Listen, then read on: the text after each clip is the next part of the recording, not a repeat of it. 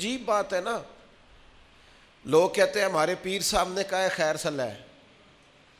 تو میں کہتا ہوں تمہارے پیر صاحب نے خیر صلی اللہ اگر اللہ کی رحمت پہ امید کرتے ہوئے کہی ہے تو انکار نہیں کرتے، ٹھیک کہا ہوگا۔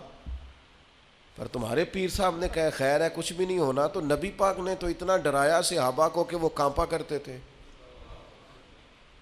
ان کے تو رونگٹے کھڑے رہتے تھے۔ رحمت اللہ عالمین محبوب کے پاس بیٹھنے والے۔ حضرت انس بن مالک رضی اللہ تعالیٰ عنہ ایک دن بیٹھے تھے، لوگوں کے بیچ تو اچانک اندھیرا، دفعتاً اچانک اندھیرا چھا گیا۔ تو ایک شخص نے کہا، جب حضور کے زمانے میں ایسا ہوتا تھا تو آپ کیا کرتے تھے؟ فرماتے، اگر تھوڑا بھی اندھیرا ہوتا نا، تو ہم کانپنے لگتے، ہمیں ڈر لگتا تھا، کہیں قیامت تو نہیں آ گئی۔ تو پھر ہم فٹافٹ مسجد کو دوڑ جایا کرتے تھے۔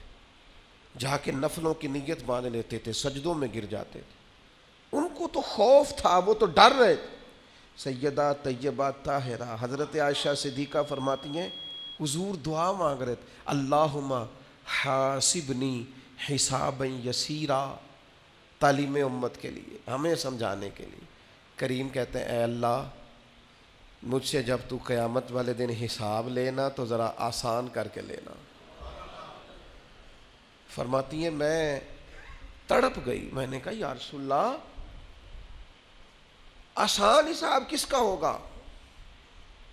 تو حضور فرمانے لگے، عائشہ، آسان حساب اس کا ہوگا جس سے اللہ تعالیٰ اپنے فضل سے، کرم سے،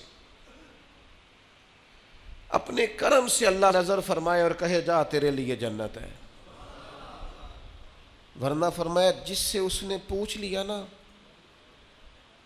جس سے مناقشہ ہوا، جس سے بات ہوئی، جس سے سوال ہوا جس سے کھڑا کیا گیا اس کے لیے بڑا مشکل ہے۔